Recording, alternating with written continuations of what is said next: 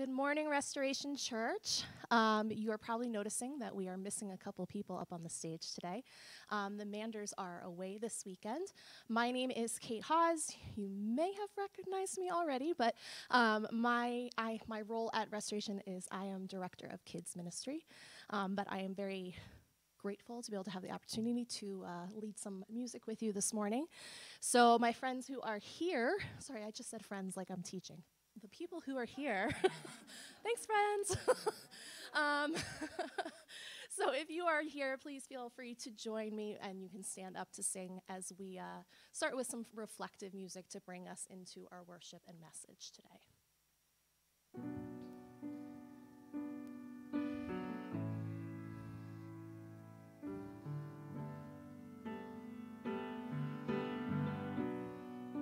Savior, I come, quiet my soul. Remember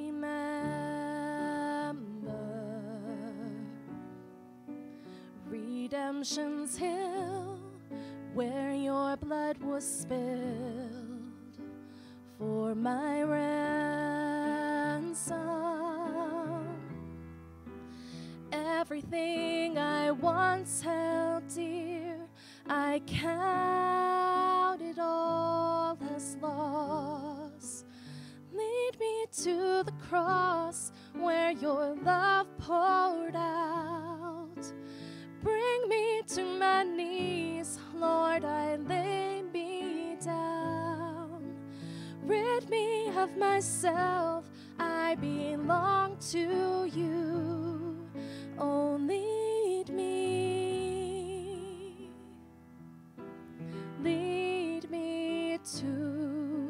cross.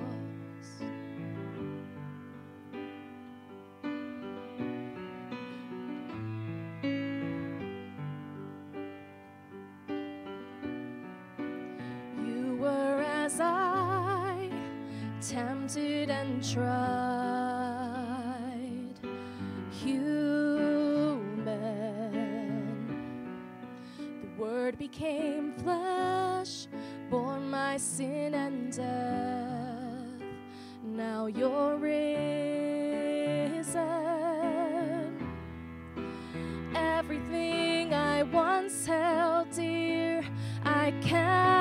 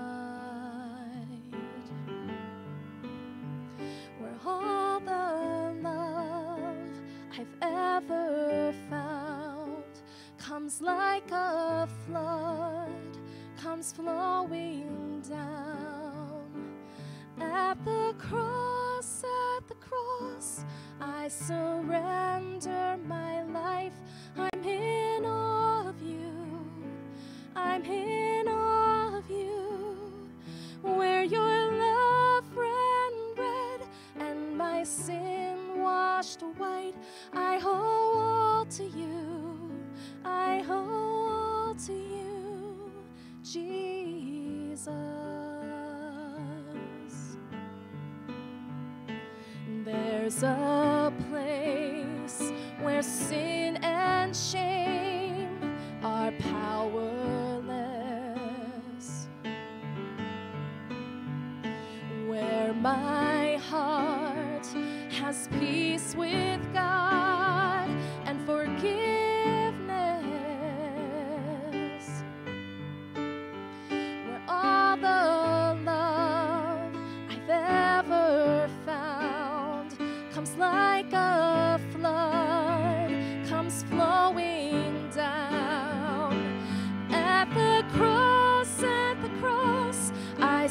I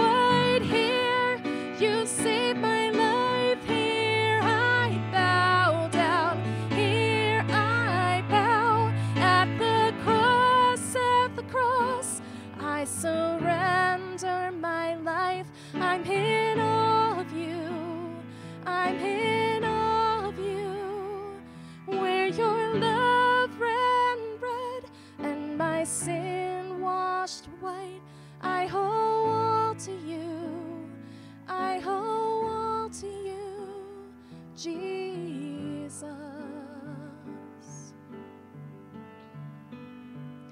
There's a place where mercy reigns and never dies. There's a place where streams of grace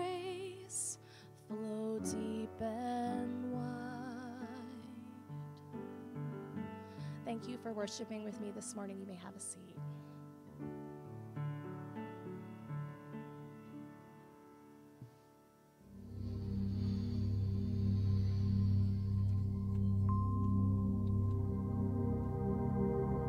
Hey Ross, Hey, Em. coming at you on a Friday where I don't get ready. You look great. it is what it is. Beautiful. Mm, you showered. I did win. shower. You Yeah. get to win today. Friends, welcome to Restoration. yes. Um, if you've been around a little while, ready to let us know who you are, there's a connection card being dropped in the comments. Hmm. Encourage you to fill that out. We have a gift for you. We're going to get in the mail to you. If you're in person, then head out to the lobby because you can fill out that same card out there, and we'll get um, a gift to you right there and then. Um, but we also give three dollars to the Interfaith Food Alliance for every card that we receive. And so, just by letting us know who you are, you're making the difference in the life of a family within our community. So, also, you just said Interfaith Food Alliance. Mhm. We are actually right now collecting um, canned fruit and applesauce. And a lot of you went and shared that post today, Friday, because we're doing this, you know, for the future. But thank you for sharing that post. And you can drop off in our lobby today if you're in person with us, or you can also you could ship things directly to 22 Echo Lane, Levittown, or people are dropping off at that house under the portico. So That's you a great- can help. Yeah, you Yeah. can help us um, make a good delivery to the Interfaith Food Alliance. Yeah, cool. Yeah, and of course you can do other things too, but that's like one of the things our shelves are missing right now. Yeah. So there are three quick things that we want you to be aware of. Besides that, besides that, the first is drum roll M. I don't know what you're gonna say. Do you want me to say what it is? Yeah, I was gonna have you say what it is. Oh, Sorry. um, giving statements. Giving statements. Yeah. Mhm. They will be coming out, right? Uh, yeah, like this week, hopefully, is Heather's goal this week. Yep. So But by the end of the- end of the month like at the very our mo- church administrator, and you will have your giving statement by the end of January. But actually, what's really important is you're going to probably have it even this weekend. I think it's really soon. I can't remember exactly. Mm-hmm. She's on Heather, top so of I'm sorry. Yeah, Heather's way on top of things, but she wants you to have them now because she wants you to open them because they're being emailed. If you don't email your giving statement, all of you, thank you for giving, by the way, also. Yes. But yes. um, if you don't open it, then we have to print it and mail it to you, which is fine. We will do that if we have to, but it would be a great help to us if you would open your giving statement that is emailed to you, Mm-hmm. yeah. right? And we're going to remind you again next week. So you have a few weeks to get it open, and you know Open and you can print it off from your own computer in your own home. Right. You might not even need to print it. You might just need the information, The depending information, on how you do your taxes. that's how we do it. Okay. Yep. Yep. So that was number one. Yes, the second Thank you for one. helping us out. The second one, and, and Andrew is going to address this at the very end of his message too. But we have a brand new series starting next week. Mm. The series is called Trace, Oh, and it's going to have my daughter and as part of the bumper video, which I have not done yet. But it's going which to be fun. daughter? Uh, this one right here. Evie. Did you know that, Evie? Oh yeah. She's did. to help me out, so you'll see that next week. But What's um, Trace about, Ross? Because I didn't know that was. it's about uh, modeling Jesus. Mm-hmm. And so the series is really it's it's a pretty robust series in a lot of ways. Oh It's- boy, that means you don't have how many weeks you're gonna do it for. It could go on for a long go on time. forever. Till Easter. All the way to Easter. Yeah. no, but you're gonna learn, and so what your next step may be, how to connect, um, how to grow to become like Jesus. So ultimately, our hope is that everybody within the context of restoration would learn to become like Jesus, and so and we're take your next step. and take your next step that tor- towards that. Okay. Yeah. And so we're going to tell you how that is. We're going to group signups. The door is opening wide for groups, for classes, um, for opportunities Especially to during the first two weeks of the service of the series. Yeah. Okay. Um, there's going to be a couple other um, challenges that are going to be put out. It's going to be, uh, I think, uh, I'm, I'm really looking forward to the series. Cool. And I haven't preached in like, preached live in like a It's month. It's been really good so for you. It's So going to be good for me. yeah. So No, that, I'm no, it has get been good there. for you. Like It has is been good, absolutely, Yeah. Mm-hmm. Um, so really, we do encourage you to join us starting next week for that series Okay. because it's going to be Yep. um, a lot of ways to connect and a lot of things to do with restoration. So, Yeah. yeah. The last thing that we have for you today I don't remember. is You remember? nope, but it's written right over there. She's gonna take a little breather here. We have it. We have it. How you guys doing today? Oh, I remember. I remember. Virtual Virtual welcome party. welcome party is happening tonight. So we actually we have a Does um, anyone else find that their mind is like gone, like in this Oh, COVID mush, world, like yeah. in this reality we've been living in, that like you can't remember? Like that, there were three things we had to remember, people. and we went over this five minutes ago Yeah. and we couldn't remember it. Yeah, our brains are mush. Yeah. Yep. Okay. virtual welcome party tonight at 8 o'clock so if you just want to hop on a zoom call with us um, to learn about the church to meet some leadership to Figure out to, your next to meet step. some new people figure out yeah, your next step plugging in with Yeah, us. yeah. Mm-hmm. um, then email julie pagliacetti her, her email is Very right, easy. It's right here Julie at Restoration Church. Yep, but it's right there for you. Yep. email and say hey i would love to, to get that zoom link for the 8 o'clock tonight welcome party so that's all i need to do and we'd love to meet you and greet even- you Yeah. and uh, be with you briefly so They might even be able to drop that link online though, because we have like an actual. they can do that too sure Yeah. Yeah. hmm So, our online host, if you want to drop that to register for the virtual party, that'd be great. If not, email Julie. Email Julie. Yeah. Mm-hmm. Um. So you know, and we've talked about giving a little bit already, but Yeah. but we are so thankful for everybody who gives, and um, we make it really easy. We try to make it as easy as possible to give, and so there are five very easy ways to do so. You can see them right here on the screen. The fifth one is the um, the Dropbox for those of you who are in person. Evelyn is being summoned by her older brother. Um, and so we just want to thank you. You know, we serve a very generous God, and we do all that we can to model God, to live like Him. And so, because He is generous, we strive to be generous, not just with our money, but with our energy, our time, our resources, beyond money, our talents. Sometimes we can be generous by keeping our mouth shut, Generous with our words. or not. Sometimes I just think there's been a lot of words floating around. A lot of You've words. addressed this. I have. Mm-hmm. But sometimes it's We- more generous to be quiet. We are. Um, I, I have it within the next two months. We're going to do a series on words. I Oh, think. yeah? Yeah, we're gonna we're gonna talk about the importance of the words that we that we use because it's just Mm-hmm. it's it's an it's an important topic. Generous with our love for one another might be a better way. there you go. it, Generous too. with our love for Is one another. better? Yes. Um, and I would say that I know a, more people than I ever have personally who have COVID right now. It is not good. So be safe, please, friends. Um, and when I say not good, I just mean it's very contagious. Like it seems like a lot of people are actually coming down with it, but doing fine, navigating it well. Like Yeah. it's kind of like a head cold um, type of thing. But I just want to say to be encouraging to one another and loving one another well through that because Yeah. I think there's been I've talked with quite a few people this week who feel like there's a lot of shame around getting COVID, Hmm. a lot of blame, like you weren't being careful and you weren't, Hmm. and people don't even always know where they get it from, Right. Yeah. and it literally is happening in our universe. So, just to be generous with our love towards one another and Yeah, that's good. kind and reaching out and Yeah. supporting our friends when we know they have COVID or when we know they're struggling. Um, and mental health is almost, I think, the mental game is a lot harder to manage than actually the illness for a lot of people. Not Yeah. everyone, but for a lot of people, it's the mental, everything that you have to take care of and all the calls you have to make and all the just the things that happen once you find out you have it. So we need to really be praying for our community, right? Yep. Yep. Mm-hmm. Let's do that. Okay. Okay. All right. Heavenly Father, we um, we want to thank you for all that you're doing at Restoration, uh, the way that you provided us through our people, provided for us through our people. Uh, we're so grateful for everybody who gives in any way, um, whether it be financially or their service, their time, their energy, uh, their generosity through their love, Father, um, to help accomplish your mission and to make you known within our community. I pray that in this year, Father, we would become more like you, um, and then that uh, that living like you and loving like you would spill out over onto our households and onto our our communities, Father, um, so that even more might come to saving faith in, in you because of the work we're doing here.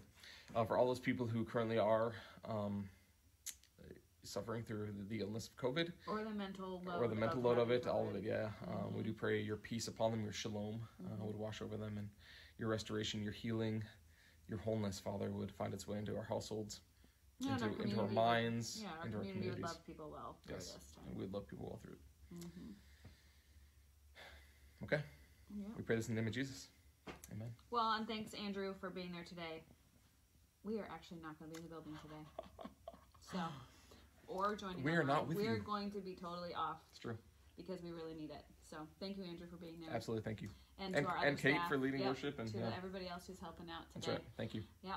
Okay. See ya. Stay well.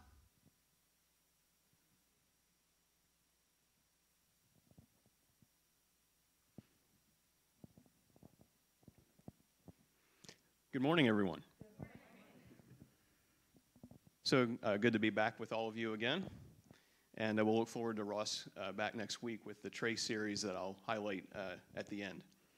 So last week we began this series on grace, talking about God's abundant grace and the fact that we were all dead in our sin, completely helpless, and needing a rescue from Him. We also talked about how God intervened in a powerful way. But then here's the next question what comes next? What comes after that? How do we live in light of the change that has occurred in us by grace? For the sake of time, I won't get into my entire life story. Uh, maybe in the future I'll be, have a chance to share. But I just wanted to illustrate one uh, thing from my past that uh, highlights what we're talking about this morning. So I grew up in a Christian household, became a follower of Jesus at the age of nine, attended a local church, went to youth group, went to Sunday school, was enrolled in a Christian school from third through 12th grade. So, as you can imagine, through all of that, I was taught a lot about the Bible. And I knew all about God's grace, and I could tell you all about everything I shared last week. But there was just one problem that my relationship with Jesus was centered on everything that I knew. It was centered on information and not about the actual living it out. So, what happened then is I entered my teen years, I became more and more miserable because as I got closer and closer to the mountaintop of knowing everything there is to know, I, I felt more and more empty. And of course, at that time, uh, pursuing the American dream was a whole lot more fun than pursuing Jesus, or so I thought at the time. And the world was calling my name. And to make a, a long story much, much shorter, I was accepted at LeTourneau University, which is a Christian school in Texas. And I was accepted two weeks before classes started. So I had never taken a campus tour, I had never even seen the place. But my goal at that moment was to run away. I wanted to get away from everyone and everything that I knew and start over uh, again because I was so miserable. So that was my plan. And I was just going to put up with the, the Bible classes to get my degree. But God had other plans, fortunately. And so as I made the long trip south from PA, the moment I pulled onto the campus, it was like God reached down in my car and hugged me.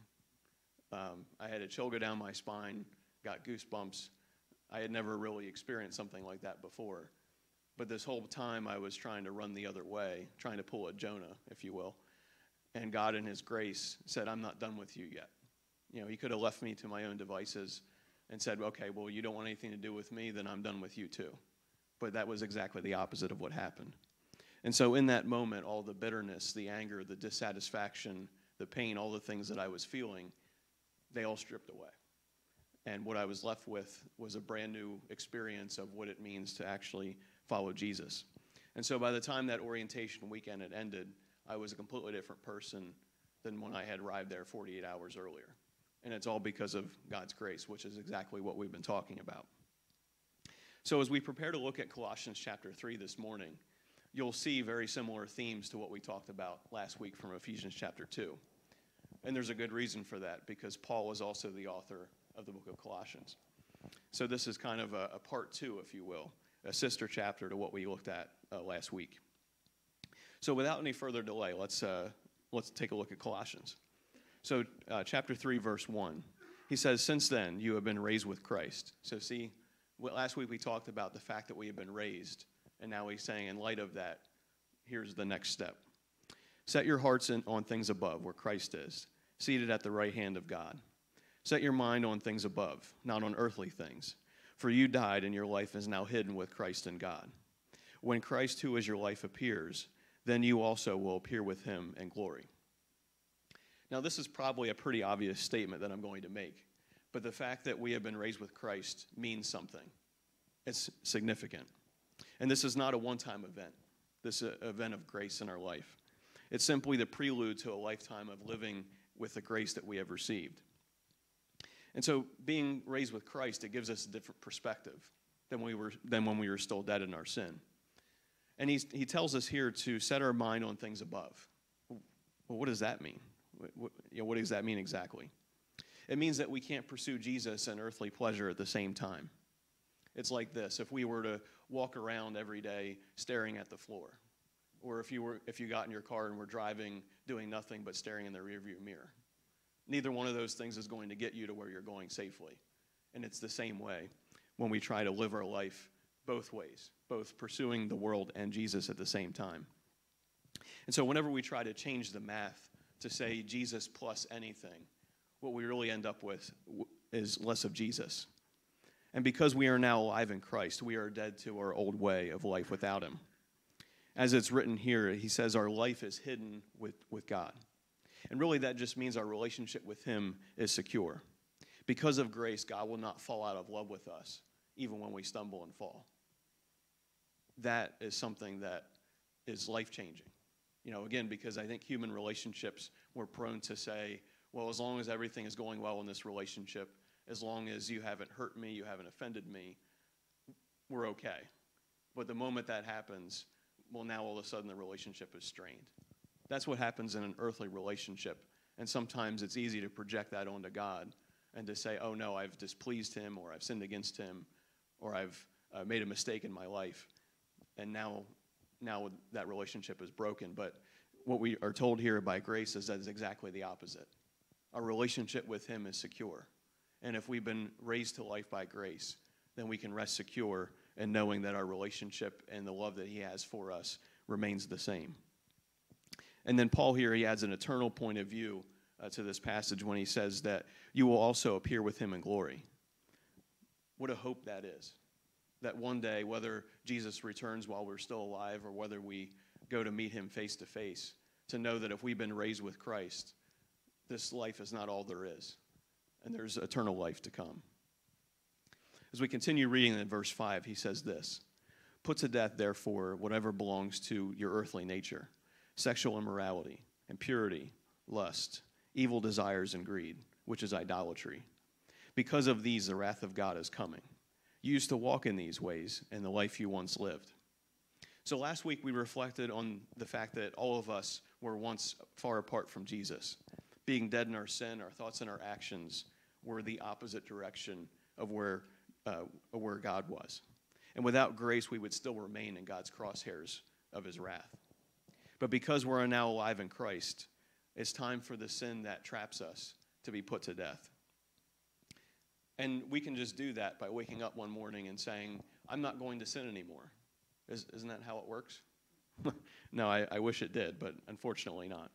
Unfortunately, we still wander back to old habits and old pleasures that are not of God.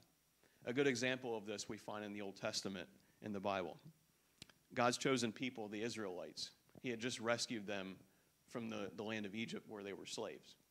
And so he, he brought them, uh, gave them deliverance, brought them out of the land. And now they're on a journey from Egypt back to the land that he had promised them a land that had everything they could ever want. But along the way, they saw fit to complain. Complain that they didn't like the food that they were receiving. Now, mind you, at least they had food to eat. But they didn't like the food. They didn't like that it was hot. They didn't like the journey was so long. And on and on the complaints go. And at one point, they even said, you know what? Egypt wasn't so bad. Let, us turn around and go back to Egypt, you know, because the food was better there. Never mind the fact that they were slaves. They're now a free people, and yet they wanted to go back to being slaves. And I think our old sin nature is a lot like that. We forget what life used to be like before Jesus. We tend to maybe glorify it or whitewash it and make it seem better than it actually was. We convince ourselves that somehow we can mix the old and the new. The old, the old lifestyle wasn't so bad. We can have both, the best of both worlds, if you will. And I know because I've been there. And rather than putting our sin nature to death, what we do is we let it hang in the closet. And it's like that old familiar shirt that we just can't get rid of. We let it hang in the closet and pull it out from time to time. And so this is the point then that grace enters the equation. Because if God just told us to knock it off and just stop sinning and become more like Him, all on our own, all up to our own devices, we'd never get there. We never fully uh, come to that place that He desires us to be of our own uh, free will, of our own uh, desires, and our own willpower. And I've I once heard it said this that in many cases, God doesn't immediately remove our sins, our mistakes, our failures. Instead, He chooses to mature them out of us over time. And sometimes that can be hard to reflect on, you know, because either we're saying, oh, well, I know this habit or this thing I keep doing, I just want it gone. I need to become more like Jesus in this area, and I'm frustrated because I keep coming back to the same place.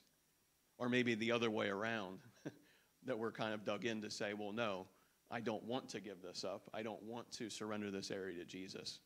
Whatever the case may be, He meets us where we are, and He uses His grace to mature that thing out of us so that we can become more like Him. And when you look at this list of descriptions that Paul uses to describe our old sin nature, what you see is that they're all issues of the heart. They're all corruptions of a good thing. So, for example, going down a pathway of lust and immorality means that we're not viewing sex as a gift from God, but instead has been warped for purely selfish reasons. Pursuing evil desires is a corruption of the good things, the good blessings that God has given to us. And in the same way, excuse me, in the same way, it's impossible to be greedy and content in the blessings of God at the same time. So you see, it's taking a good thing and it's a corruption of it. And it becomes an idol every time we sin, that we bow down and worship it. And unfortunately for us, sin is a lot like salt water. The more we drink it, the more thirsty we become. And so we need more and more and more sin to get the same high out of it over time. And, and here's the problem again the more we go back to that same well, it's like drinking muddy water. you just never can get enough of it. But here's, here's the, the good point, the good news about it is that the more we discover Jesus, the more we discover his grace, we end up putting more and more of our sin nature to death. And the more that we pursue Jesus, the more we find satisfaction and peace and joy. And as I said at the beginning, in my story, it was all about the information and not about actually knowing Jesus personally. And so the information doesn't give you any satisfaction, and peace, and joy on its own. It's only when we connect what we know about God, what we know about His grace, to actually having a relationship with Him. That's where the satisfaction and joy comes from, and knowing Him. And so when we're commanded here to put our sin nature to death, what it really is is a lifelong process of smashing the idols that get in the way of our relationship with God. We look at verse 8, we see this. But now you must also rid yourselves of all such things as these anger, rage, malice, slander, and filthy language from your lips. Do not lie to each other, since you have taken off your old self with its practices and have put on the new self, which is being renewed in knowledge in the image of its creator. Some of you may remember the show What Not to Wear. I won't take a poll, but some of you may remember that show from a few years ago. And the, the co host of the show would find someone in need of a wardrobe makeover. And um, if you would see the show, you would see that, yes, some people definitely needed some intervention in that, in that area. and they helped them do a total makeover from head to foot. And one of the, the first things they would do in the process is they would meet with the person and go through all their clothing and go through and one by one tell them these are the things you have to throw away. We're, you're not wearing them anymore. You're getting a whole new wardrobe in place of this. And, and so it's kind of the same thing here that Paul's helping us to understand is he's showing us all the things that we should no longer wear. All the things that were part of our old wardrobe that need to be thrown away. And again, these are all the things that we decide to leave hanging in the closet and pull out from time to time, but they must be done away with. And so the, the power of sin, it went to Jesus, it went with Jesus to the cross. And so through his grace, we have the privilege, instead of receiving God's wrath, we receive this process of renewal, this process of becoming more and more like him. And so can you can you see, can you understand how profound this is? That instead of wrath, we get a makeover. It, those things are polar opposite, and it's because of God's grace that this can happen in our lives. And it's and also it's not a case of just patching up our worst parts. He doesn't say, "Here, let me tackle your three worst areas. I'll just fix those up and the rest is okay." No, when we come when we come to Jesus, it's a complete makeover from head to foot. We are new creations in Christ, not recreations of the old, but brand new creations in Christ. And we look then at this list. Earlier, we talked about how the list was centered on heart issues. Well, in this list, we see that all of these things center around our words. Emily and Ross highlighted in our video earlier the power of words, used for good or bad. And so, in the same way, here, Paul is saying these are all ways that we need to watch our words as we live in grace. Anger is a totally normal and natural human emotion but it's often the things that we say and do while we're angry that can get us into trouble. And we see malice and slander and filthy language. Well, these are all things that tear other people down. But instead, if we use our words to encourage them, we are learning how to walk in grace. And likewise, the truth is always stronger than a lie. Jesus told us that when you know the truth, the truth will set you free. But instead, a lie puts us into prison. And so last week I gave a reminder that the Christian life is not built on a checklist. And I want to highlight that yet again.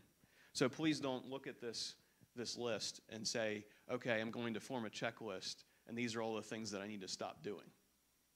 That's not Paul's intent whatsoever in these verses. And so don't read it that way. Because if it was, this series would be here, here's the six steps to have a more successful Christian life. That's not how this works. and no, this is a series about grace for good reason. Because God's grace is not displayed in us just because we're sinless. No, God's grace is displayed in us when we are sinning less. And there will be times when we think that we have a handle, a handle on our anger, for example, and then something will set us off. Oh no. Well, now we're back to the very beginning all over again. and on and on it goes. Many examples even though you think you might have it checked off on your list. There's always that reminder of, no, no, deep down, I still struggle with getting angry and saying and doing the, the wrong thing. So the evidence that we are raised by grace and then live by grace is not in our perfection. Perfection is not the standard. Otherwise, none of us would be able to measure up to that. None of us would ever experience grace if it were based on our performance in that way. But living by grace means that we are completely dependent on God and His grace every day. you know, last week we talked about how, but God, but God, that He intervenes in our life in the same way. It's by grace. Everything is by grace. And so, in, in, order to do this, we take off our old sin nature and we start wearing this new wardrobe that we've been provided by grace. In verse 11, he, he goes on to say this Here there is no Gentile or Jew, circumcised or uncircumcised, barbarian, Scythian, slave, or free, but Christ is all and is in all, and therefore is God's chosen people, holy and dearly loved. Clothe yourselves with compassion, kindness, humility, gentleness, and patience. Bear with each other and forgive one another if any of you has a grievance against someone. Forgive as the Lord forgave you. And over all these virtues, put on love, which binds them all together in perfect unity.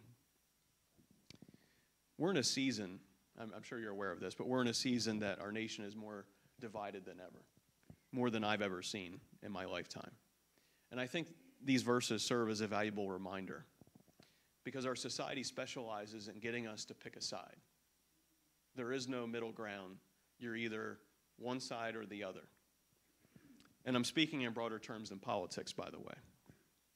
On any given issue, there's this pressure to pick a side. And you wear down your opponent until they fade away, until you win the argument or win the debate or your side of the issue wins. And I think even in the church, sometimes our differences in theology and practice can lead to the same infighting among a church as well. So not even the church is immune to this. And if you see, when, when Paul creates this list, he chooses groups of people that would not normally interact with one another or pursue unity together. For example, he get, begins by saying there's no, no longer a Gentile or Jew. Well, in Paul's day, Jews and Gentiles hated one another. They didn't associate with one another. They most definitely were not seeking to pursue unity together. They were on complete opposite sides of the spectrum. And yet, what Paul is saying is that we, when we've been raised by grace, we're all part of the same family. And so it's no longer about picking sides or being on one side or the other, but it's about pursuing unity and peace. And the hard work of grace is to be in the middle. That's the hard work, is to hang out in the middle so that we can listen and engage. Because, especially in our political season that we're in, it's so easy to leverage articles and memes. And so we pick our side and then we fight the other one with all the things that we found. And on and on it goes. But that's not helping us pursue grace. It's not helping us pursue unity or love in any way. And so, again, grace is the hard work that has us hang out in the middle so that we can listen and engage. But here's the thing being unified does not mean that we agree. And nowhere in Scripture are we commanded to always agree and assimilate to one point of view on every issue. No, instead, we are called to demonstrate grace and to put down our sword and to listen and engage wherever possible. And so that's why grace is hard. Grace is hard because it causes us to live in a tension of disagreeing with a person, but still demonstrating God's love to them and still showing them grace. And I'm preaching to myself when I say this, by the way. I need to hear this too. so I'm, I'm, not, I'm not just saying it for all of you to, uh, to hear this, but it's, it's also for me as well. And so earlier we read about our old wardrobe that no longer belongs in our closet. And as Paul writes here, he's reminding us of what our new wardrobe, our new clothes look like. We're called to uh, present gentleness and patience instead of rage and anger towards other people, compassion instead of slander, kindness instead of malice, and humility to keep us from using filthy language and lying to each other. But then here's the hard one the hard one is to forgive instead of holding a grudge. Ooh. I, I like the other clothes. The other clothes are okay. But this forgiveness one, we, we just send that back to the store. I'm not, I'm not going to put that one on, right? And so, are we going to excel in all these areas all the time? Well, no, of course not, because if we did, we wouldn't need grace. And so, God's grace is for us as we often struggle to, to put these things on on a daily basis. And God's grace is a part of the package deal. He's not saying, well, just you figure out how to wear these clothes on your own. No, God's grace is part of the package. And as the more we understand about the depth of grace and forgiveness that we have been given, the more easily we are able to then extend that to other people. And he says here to, to bear with one another. Well, that can be hard. Again, especially when we disagree, especially when we're on two opposite sides of an issue. But even then, we bear with one another, forgive, and show uh, compa- compassion, kindness, humility, gentleness, and patience. It's easy when we agree, but much harder when we, when we don't. And Jesus told us before he was sent off uh, to be arrested and then later crucified, he was having a conversation with his disciples, and he tells us that the world will know you belong to me, that you're one of my followers by the love you have for one another. That's our calling card. And so Paul says it here at the end that all these virtues, above all of them, put on love because it binds them all together. And radical love for one another begins with the radical love that God has given to us. And it's only by receiving and understanding the love that God has for us that we are then able to love each other in radical ways. And so we know this love when we've been raised by grace, and we extend that love to others as we live by grace. And so as we wrap up this series and our time together, I hope that you have gotten more than just some information, uh, some, some information about what grace is. My hope is that God brought his grace to you wherever you are uh, in your location, if you're online or here with us, but also brought His grace to you wherever you're at in a season of life. And so, if you've never experienced what it means to be raised uh, to life by grace, my prayer is that God's grace found you right where you are, so you had an opportunity to meet Him for the first time. If you entered this series feeling distant from God, kind of what my story was, that I knew Him, but I was distant from Him my prayer is that God reminded you of His grace and that He brought you back to Himself, uh, just like He did for me. Maybe you entered this series feeling hurt and broken because of what someone else has done against you or, or even your own choices that you've made. My prayer is that this series was a reminder that God's grace helps, He knows and understands where you are, and that He, he forgives and restores. And maybe you entered this series trying really, really, really hard to follow Jesus and to fill out your checklist every day. My prayer is that this series reminded you that it's not about the checklist, it's not about the do's and don'ts, and to trust the process of grace that God is working in your life. And maybe even as we began this series, you found yourself caught up in conflict with someone you know, or just caught up in the conflict going on in our nation. My prayer is that you have seen that God's grace is a pathway to peace, to lay down our sword and to listen and engage. And maybe you entered this series in none of those groups, and that's okay too. The point is that all of us need God's grace. All of us needed to be rescued by Jesus and raised to life. None of us are perfect, and all of us still need His grace as we smash our idols, throw away our sinful old clothes, and learn how to dress up in this amazing gift of God called grace. Let's pray. Father, thank you for your great and abundant grace that you give to us. Not because we earned it, not because we can measure up to some sort of standard on our own, but Lord, you, you gave us grace to show us your love, to show us your mercy, to make us more like you, to raise us to life. And then, Lord, as you show us how to live like you, to live by your grace as well. So, Lord, help us to not just depend on our own strength, our own willpower, but, Lord, on a daily basis to surrender our lives to you, to surrender to the power of your grace, knowing that without it, we have nothing. That we depend on you, not just uh, to get through a day, but Lord, we depend on you to, to grow, to become more like you.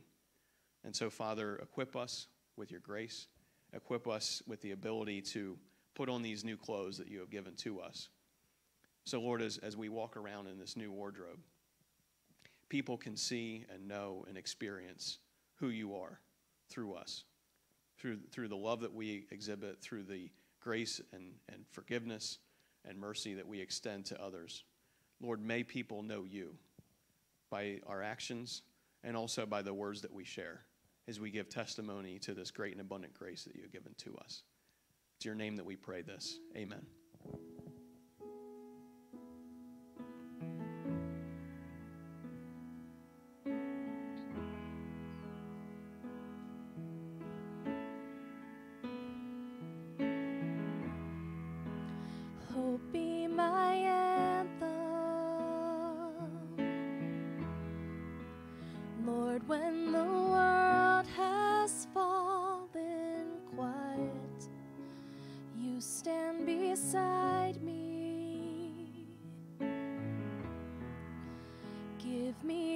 Shoulder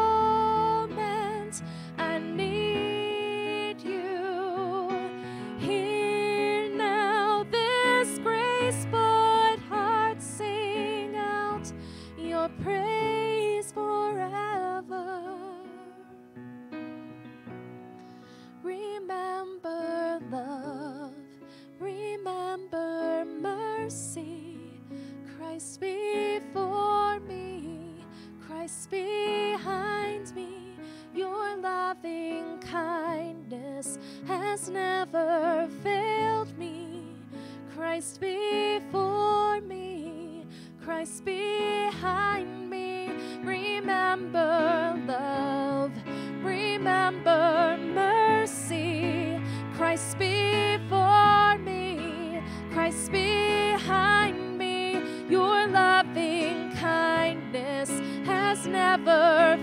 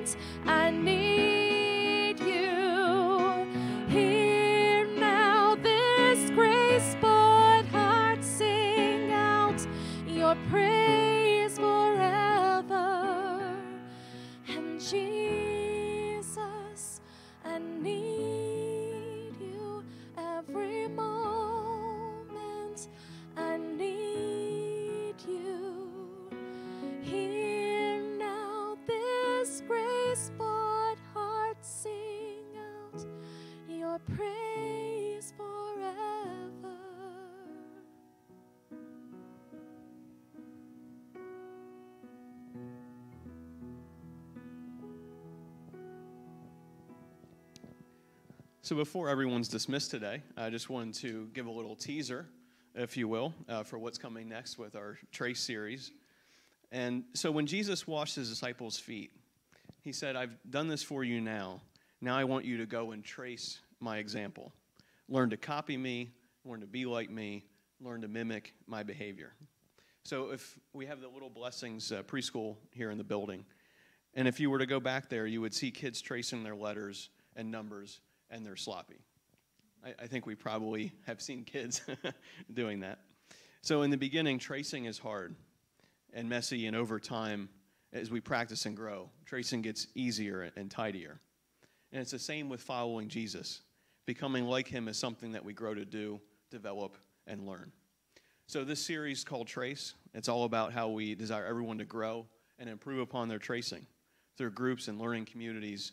A series about how you become, can become more like Jesus at restoration. And so, uh, again, come back next week as Ross begins that series, and uh, we're looking forward to seeing all of you then. And uh, so now you'll be dismissed uh, by Roe. Thank you.